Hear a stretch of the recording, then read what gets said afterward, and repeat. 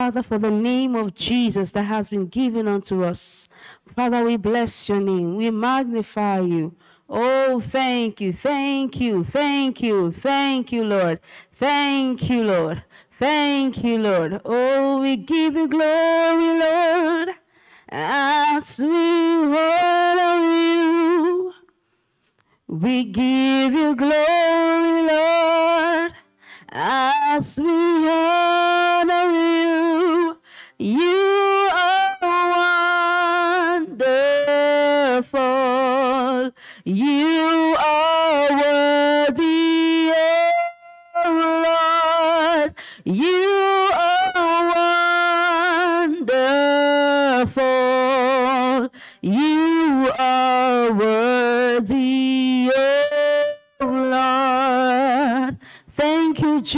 Jesus. Oh, thank you, Jesus. Oh, we thank you, Jesus. He that has healed all our diseases. Thank you, Jesus. Thank you, Jesus. Oh, thank you, Jesus.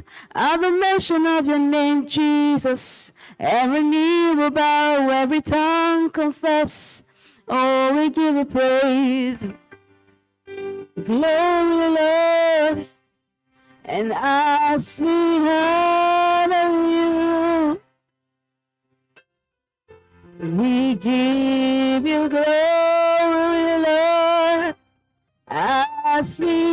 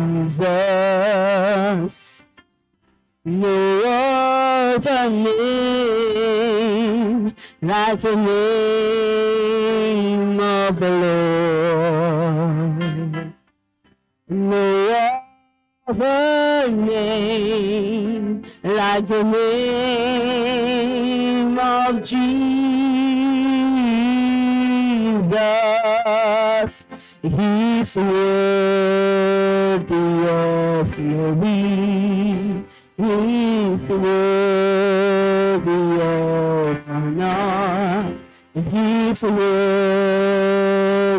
of power and of praise. No other name like the name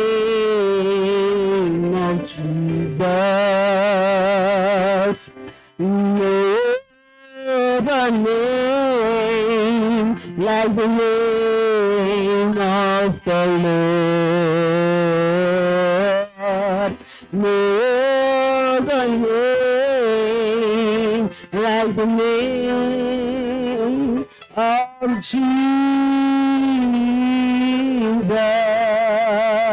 He's worthy of glory. He's worthy of honor. He's worthy of power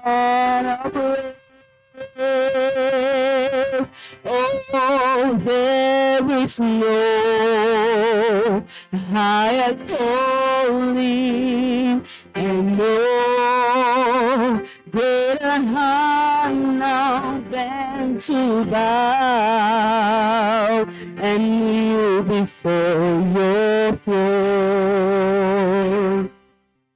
Lord, I'm amazed at your glory and grace, not your mercy, oh Lord. I live to worship you, for there is no, there is no higher calling and no greater honor than to bow and kneel before your throne. I'm amazed at your glory, amazed by your mercy,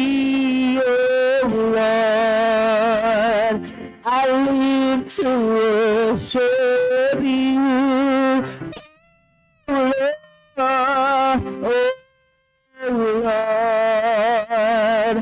I live to worship you, oh Lord, oh Lord. I live to worship from the depth of my heart. I sing, oh Lord, Lord. I live to worship you, oh Lord. I live to worship you.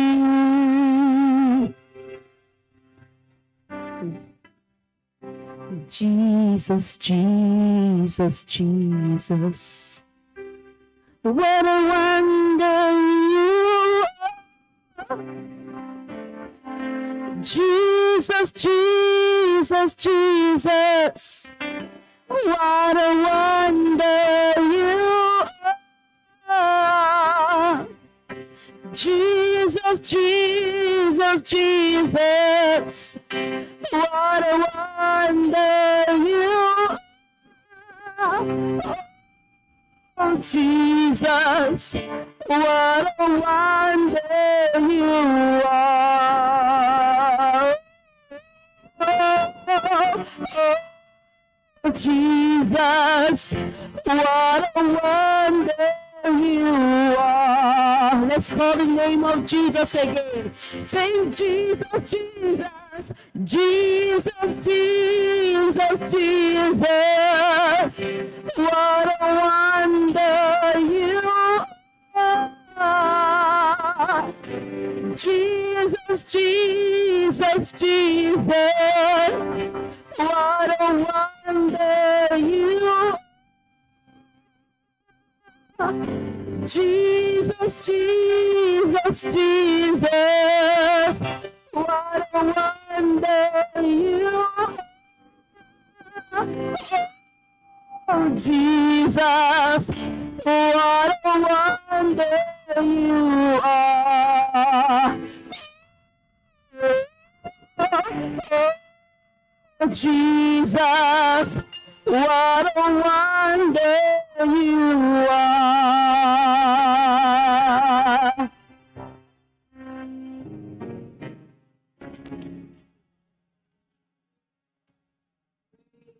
Hallelujah.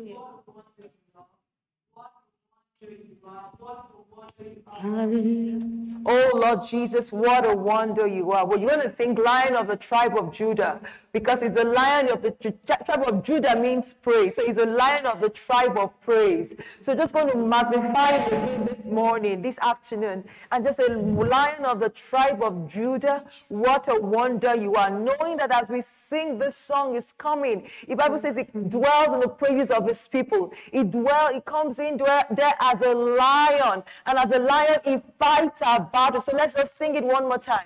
Lion the tribe of Judah.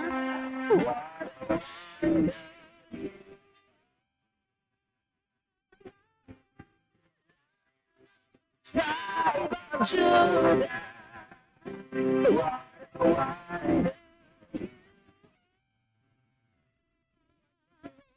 The tribe of Judah.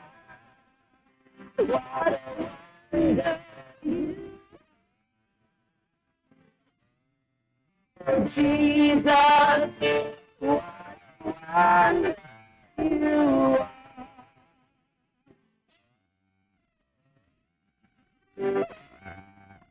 Jesus, what you are.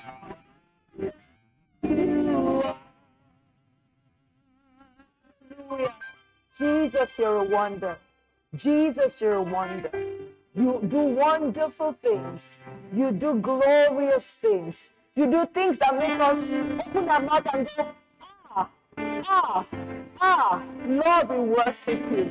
What a wonder you are. No wonder your name is called wonderful. No wonder your name is called wonderful. Because you're the God of wonders, full of wonders, doing wonders in the earth. You are the God of wonders, full of wonders, doing wonders in our lives. Yeah. And I, there's a song that comes to my heart right now. It goes, You are a wonder, God of wonders, doing wonders in the earth. You are a wonder, God of wonders, doing wonders in our lives. You are a wonder, wonders, wonders in the earth. You are a wonder, God of wonders, doing wonders in our lives. You are a wonder, are a wonder,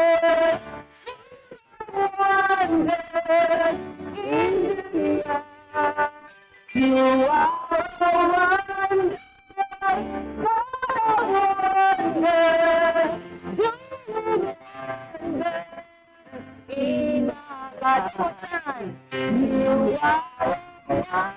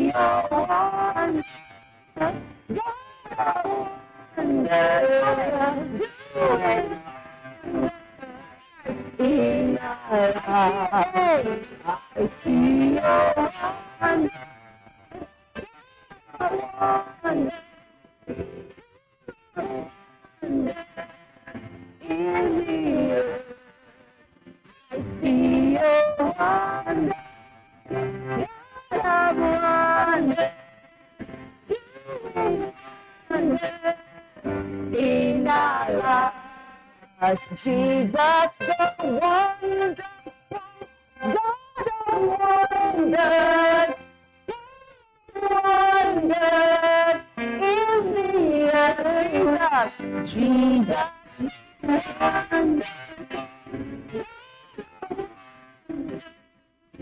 doing in our lives. Just lift up your hand and praise the God of wonders. You are the God of wonders. And we praise you, the God of wonders. Because from eternity past to present and future, you continue to do wonders, wonders, wonderful things. Lord, we worship you. Jesus, you're the God of wonders. You're doing wonders of healing, wonders of miracles, signs, signs and wonders. You're healing, you're delivering. Oh, we worship you. We thank you, Father, for your word of wonders. Your word is full of wonders. And as we open up your word today, Lord, to learn at your feet, we receive our eyes open up. We receive your wonders impacting our lives. And we see, we see your word of wonders working in our lives, working wonders in our lives working wonders of healings in our lives. Oh, miracles, miracles, healings, bones getting straighter, cripples healed, the lame walking, the sick being healed, strength being renewed. We receive it now by the power of your spirit. Because the is right here is the spirit of wonders. Lord, we give you thanks. We give you glory, Lord. We give you glory, Lord. We give you glory. Even for the blood of Jesus that performs wonders, forgiving all our sins. We thank you, Father God. In Jesus' mighty name, we have prayed and worshiped. Amen. Glory be to God. Hallelujah. You know, healing school has started already with singing that God is a God of wonders because healing is a wonder of God. Hallelujah. Our Jesus is the healing Jesus. He is the healer. He is the great physician. And he's right here. Jesus the healer is here. Jesus the healer is right where you are right now. Jesus the healer is right there in the hospital room, is right there in your office, is right there on your bed beside you, is right where you are in your car. Jesus the healer is there right now. And he's not just there to occupy space, he's there to heal your body and he's there to make you whole. Glory be to God. Hallelujah. Praise God. This is Rhema Bible Training Center Healing School that holds every Monday to Friday, 12 o'clock to 1 p.m. And today we're going to continue on along the lines of what we've been learning about the place of exercising faith and patience to receive our healing. Praise God. Exercising faith and patience to receive healing. Exercising faith and patience to receive healing. We've started all, I mean, since Monday. And um, we started yesterday talking about the third way to apply the word because of, okay, originally we said that the basis of our healing is the word of God. The basis of our healing is the word of God. God's word is alive and it's full of active. It's full, it's full of, um, it's, it's active. It's alive and active. Now, what has God said about our healing? What has God said about our body? We find the report of the Lord about our healing in His Word. And because it is written in His Word, it's the basis for us to take our healing. Because whatever is written in the Word is sealed, signed, and delivered by the blood of Jesus. Amen. Amen. We know that sickness comes from Satan because Acts chapter 10, verse 38 says, Our God anointed Jesus Christ of Nazareth with the Holy Spirit and with power, who went about doing good and healing all that were oppressed of the devil, for God was with him. So we know sickness is an oppression of the devil. And we know the, and what did God tell us to do? What it said in James, through James, the Holy Spirit spoke through James, that we should resist the devil and he will flee from us.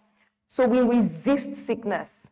We resist, we don't give place to it. The Bible also tells us that the devil goes about like a roaring lion, 1 Peter 5, looking for whom to devour. That means the devil is going around trying to split his sickness and his consignment. But you know, the Bible said we should resist him steadfast in the faith resist him steadfast in the faith. So the only way we can resist the devil is to be steadfast in the faith. That's why faith is really critical for us to receive our healing. Faith is critical for us to receive our healing. Actually, whatever it is we receive from God is by faith. Is by faith. Praise the Lord. Hallelujah. Glory be to God. So we receive our healing by faith. Now, how does faith come? Romans chapter 10, verse 17 says, Faith comes by hearing and hearing by the word of God. So the more we hear what God has said to us in 1 Peter 2 24, in Isaiah 53, verse 4 to 5, we're going to read these scriptures because we know as we keep hearing them, what's happening to us? Faith is coming. Faith is coming. Let's start with Exodus chapter 15, verse 26, before we go into the highlights of today's um, lesson. Exodus 15, verse 26. Exodus 15, verse 26. It said, can you put it in the New King James Version? Hallelujah. New King James Version. And said, If you diligently heed the voice of the Lord your God and do what is right in his sight, give heed to his commandments and keep all his statutes, I will put none of the diseases on you which I have brought on the Egyptians, for I am the Lord that the Lord who heals you. I will put none of the diseases of you which I have brought on the Egyptians, for I am the Lord who heals you. Let's pray. Father God, we thank you because you are the Lord who heals us. And we know that you're right here, right now. You're right here in this place and wherever your people are gathered to heal and to deliver to save. Lord, we acknowledge your presence. And so we submit to you today that you will speak your word to our hearts, that as your word goes forth, your word will go forth with power, your word will go forth with life. Your, Jesus said the words you speak to us are spirit and they are life. Lord, we receive the life in your word today, that everyone that is hearing this word will receive the life in the word for healing of their bodies. In the precious name of Jesus, we thank you, Father. I submit myself to you that you speak through my lips, Lord, that signs and wonders would accompany your word being preached, and that the name of our Lord Jesus will be glorified, and your people will be healed and edified in Jesus' mighty name. Satan, we resist you in the name of Jesus. We declare you have no part and no authority in this place. Jesus has authority, and we give you thanks for this, Father in Jesus' mighty name. Amen. Amen. Praise God. Hallelujah. And so we see here, the Lord is saying He is the Lord who heals us. He is the Lord who heals us. He is the Lord who heals us. He is the Lord, our great physician. Say, He is the Lord who heals me. He is the Lord who heals me. Amen. Let's go to um, Psalm 103, verse um, 3 to 4. Psalm 103, verse 3 to 4. He says, I mean, I mean, it's, um, if you start from verse 1, he says, Bless the Lord, O my soul, and all that is within me. Bless his holy name. Bless the Lord, O my soul, and forget not all his benefits.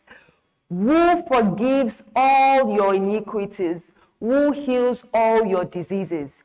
When Jesus came, he died. He did not just pay for our sins, but he paid for our sickness. He forgives all our iniquities. It was in that same vein, that same stroke, that it was in, it was the same sacrifice that paid for our sins, that paid for our sickness. Hallelujah. Jesus came, he died, he was buried, he rose again to give us salvation. And not only salvation, to give us healing. Redemption is a total package. Amen. Redemption is a total package. It is a total package. It is coming into the family of God. And when you are in the family of God, you have all the benefits of the family of God. Coming into the family of God means you have rights and privileges as a member of the family of God. Coming into the family of the Creator God means everything that the Creator God has, you have access to it. And if salvation, God has salvation, you have access to it. If God has healing, you have access to it. If God has health, prosperity, you and I have access to it. Praise the Lord. Hallelujah. So he forgives all our iniquities. He heals all our diseases. Hallelujah. Let's go to Isaiah 53. We're, we're just going uh, about reading what is written. And as I'm, these scriptures are being put up, I want you to read it out loud to yourself. Because Bible says faith comes by hearing and hearing by the word of God. And as you're paying attention and saying it, you're feeding your faith as well. You're feeding your faith. So let's go to Isaiah 53, verse 1 to 5. Isaiah 53, verse 1 to 5. Isaiah 53, verse 1 to 5. Yes, it says, Who has believed our report, and to whom has the arm of the Lord been revealed?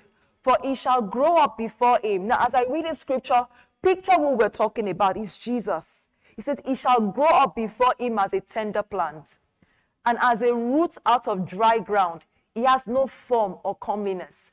And when we see him, there is no beauty that we should desire him.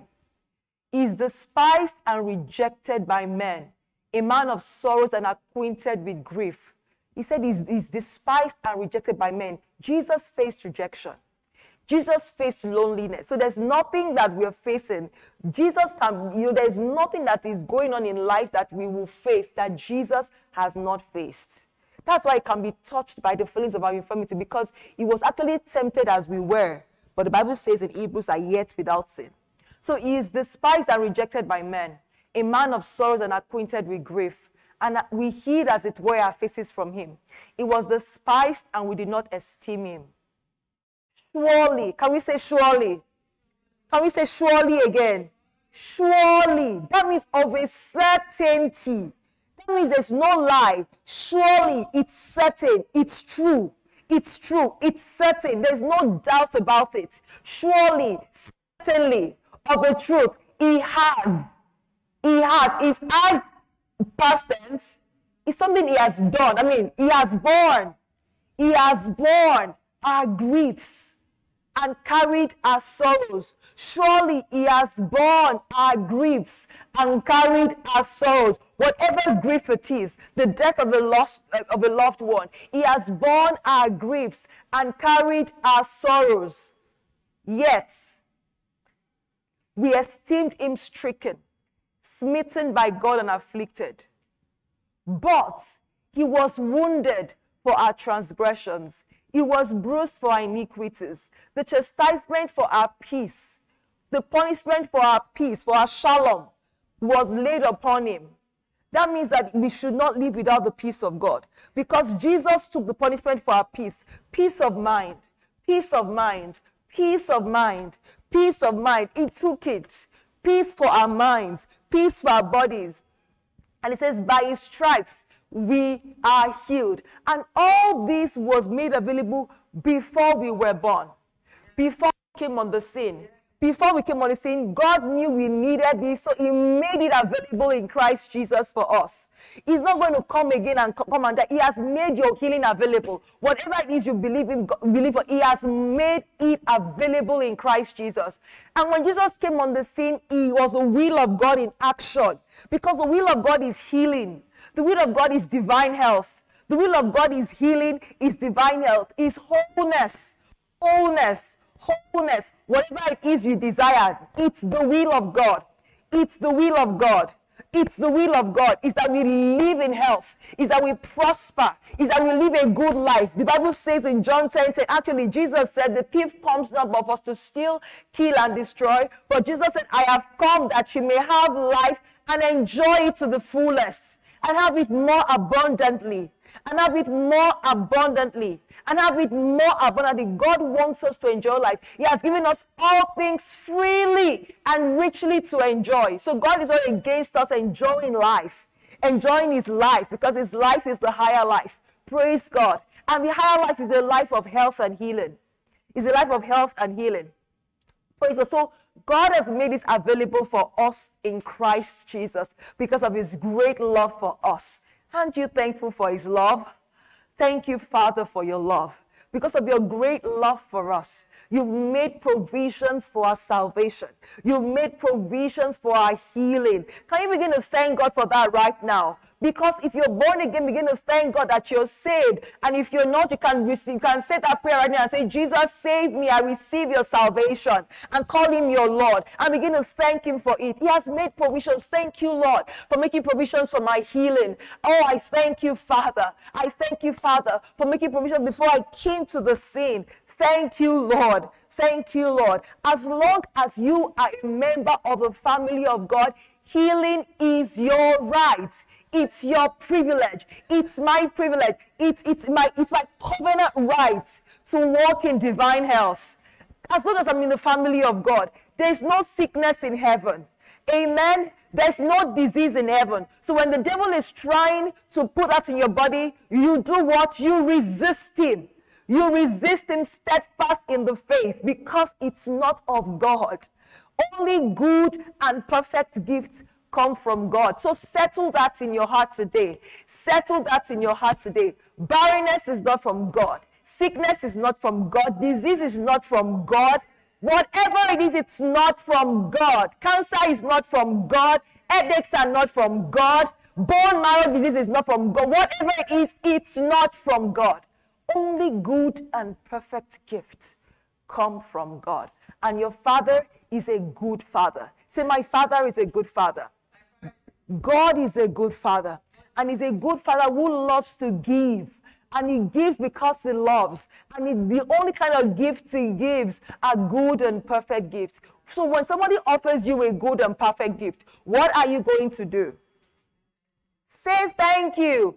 Take it and say thank you. You take that good and perfect gift and say what? Thank you. So we've been talking, we started talking about how we can apply the word of God. For he can apply faith and patience. The first point was said was we keep feeding on the word of God. We dwelt a lot on that on Tuesday. Keep feeding on the word of God. the next point was keep speaking the word. Keep speaking the word. Do not face your giant with your mouth shut. Keep speaking what is written about you. When Jesus was faced with temptation, you know, he gave us the he gave us the the, um, the blueprint of for what, how we can deal with the devil any anytime. When Jesus came, was tempted by the devil, he told the devil, "It is written." It is written. And so you and I, if Jesus said it is written, you and I would have to combat the devil by what? What is written. Praise the Lord. That's why we have to know what is written about us. Also said, My people perish for lack of knowledge. But when you know what is written about you, you will not perish. When you know what is written about you, you feed on it, you keep saying it, you keep feeding on it, you keep speaking it, what is happening is your faith is rising, faith is coming. You're building persuasion on what God has said to you. It's like a jar, a cup that you're filling with water. Every time you're speaking, faith is coming. Faith is coming. Faith in what? In what is written. Faith in who? In the one who wrote it. Faith in what? In the ability of the person that wrote what is written, that spoke the word. Praise the Lord. And yesterday we talked about when somebody gives you something and says, I, have given you this, what do you say? Thank you. Thank you. Thank you. You say, Thank you. You say, Thank you. It's an act of honor. You know, when our children, when we give our children things, you don't just expect your children to take the thing and, you know, go away. In fact, sometimes before they even collect it, you're already saying, what do you say? Because it's an act of reverence, of honor, acknowledging what the person that you actually value what this person is giving to you. You know, in school they call it the magic words. But, but you know, you want them to say thank you. How much more our Father God, when He said, you know who He is, you know His character, you know He has ability, and you know that His word is good what would you say to him? What would you say to him? And that was what happened in the story we read yesterday. Um, the 10 lepers, um, the story of the 10 lepers, that Samaritan leper in Luke chapter 17, verse 11 to 19. You know, I mean, I'm going to talk about the last two points today, which is keep giving thanks and keep acting on the word as much as you can. Keep acting on the word. Keep acting on the word. So the third point is keep giving thanks. And the fourth one is keep acting on the word. Keep acting on the word. Keep acting on the word. So yesterday we gave an analogy about Abraham, how he was full, he, he, he knew what was written about him. He knew who wrote it. He did not consider the lying symptoms, the deadness of Sarah's womb or the deadness of his own body at the age that he was but he kept feeding on what God has said about him. And he was full of faith. To be full of faith is to be full of what is written, to be full of the word of God, to be full of what is written concerning you. That means you keep beholding it. We keep beholding it. We keep feeding on it. I keep saying it. I keep saying it. I keep saying it. I keep beholding it. Keep beholding it. Keep saying it. He sent his word and healed me. If it's for a child that you're believing for, or it's a child I'm believing for, I keep saying it that he's made me a joyful mother. I keep saying it. I keep beholding it that yes, I am blessed. They say, Blessed are you going out, blessed are you coming in, blessed is the fruit of your womb. I keep saying it. I keep beholding it. I keep saying it. What is written? As I keep beholding and saying it, is building persuasion on my inside that this is the will of God. And you know, the word of God is alive, it's full of power. So it's not just, it's not, it's not just going to lie there dormant, it's working. It's working in my spirit, it's working in my body. At the same time, it's working in your spirit, it's working in your body. Your spirit becomes like a container, retaining it, retain, and you know, faith, your spirit responds to faith because faith is of the heart. And faith moves God. Faith moves God. So as you keep saying, as you keep feeding on the word, keep speaking it. The next thing is to give thanks to God for it, like Abraham did. He said he was strong in faith, giving glory to God giving glory to God, giving glory to God. In fact, God changed his name and he, he agreed. He began to call his name, he began to call himself what God called him. He began to call himself what God called him. What has God called you? God calls you healed, not the sick. You are the healed according to what is written. So call yourself what God calls you. You are the sick. Abraham began to call himself father of nations when he could not even father a child yet, because that was what was written concerning him. And so it did not matter what was happening in the physical, it didn't matter what was happening with his body. God said it. Babarigi will say, God said it, I believe it, that settles it. God said it, I stand with what God said. I stand with God. Amen. God said it. God said He is a father of nations. God calls you a mother of nations. God calls me a mother of nations. God said it, I believe it, and that what settles it. Because God's word should be the final authority in your life and in my life the final authority. Final authority. Final authority. Not what the doctor said, not what the symptoms are saying, because things are talking to you all the time. The devil will whisper thoughts to your mind.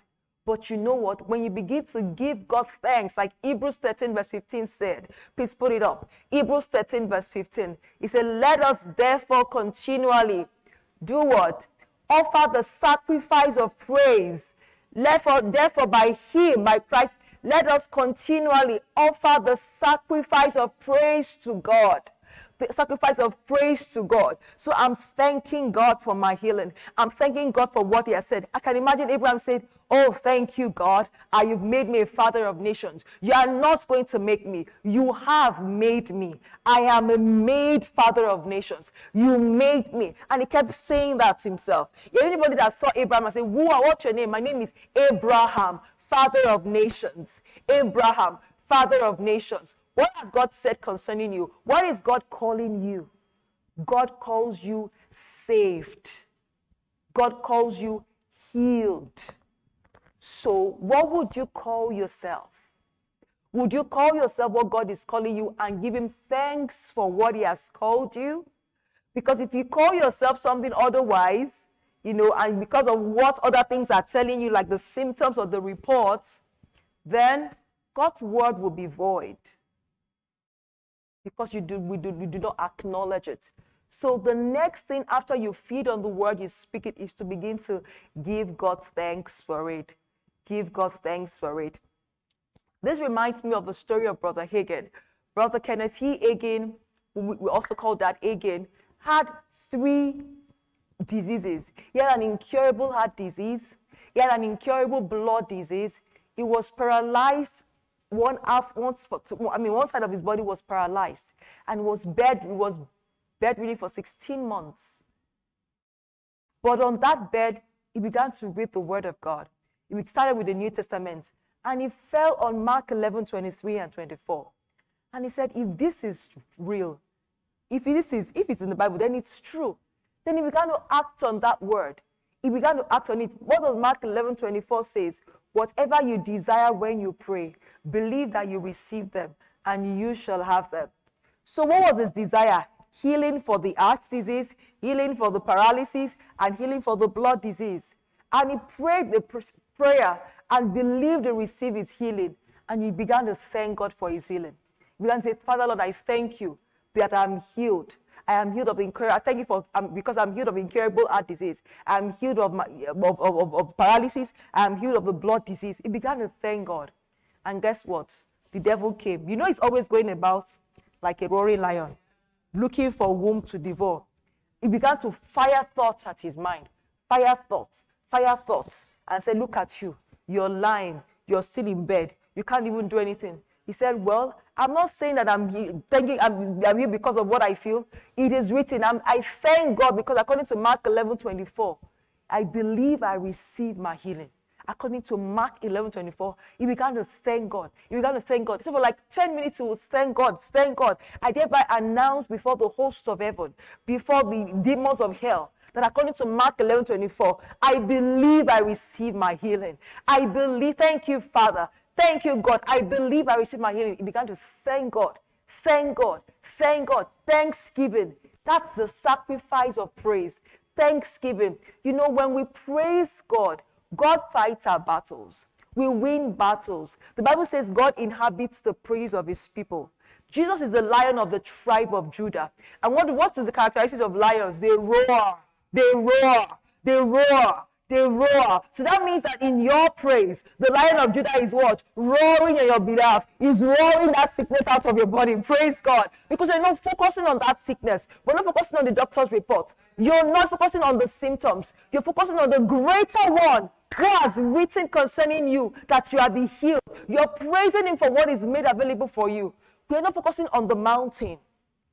You're focusing on the we are focusing on the one who moves the mountain who has the power and the ability to move the mountain and who, who calls you healed. So you begin to thank God. Thank Him because He is the one who has the ability, who has the power to heal you. Praise Him for what He has done. And as you begin to praise Him for it, begin to see yourself on the other side. What do you have on the other side? See yourself healed. Act. What would you do? if you were healed? What would you do if you were healed? I heard the story of, um, of, of, of Mrs. Dodie Osteen, who had the cancer. And, you know, they prayed over the years. They prayed, believe God, believe God, prayed. You know, after a while, what would he do if he were healed? He would go to church. She would go to church. And she began to clean the church. She began to clean. She began to walk. You know, it, was the symptoms were, symptoms were still there, but she began to act because she believed she received her healing. She's still alive today at 90 something. 90 outlived her husband. So, what would you do if you were well? What would you do? You and I are the household of faith. Praise God. Praise God. Praise God. So you give God thanks and you act like that, that, that the leper. Did Jesus told them, go show yourself to the who? To the priests. And as they went, were healed. They were cleansed. And one of them came back and returned with a heart of thanksgiving. Thanksgiving. With a loud voice, glorifying God. Glorifying God for his healing. And Jesus said, Where are the other nine? Were there not ten cleansed? How come only one returned? And this one was even a Samaritan. And Jesus said, Go your way. Your faith has made you whole. So she, he, he received wholeness. Wholeness. When we give God praise, there's wholeness in praise, wholeness in thanksgiving. Praise, worship, thanksgiving. We receive wholeness.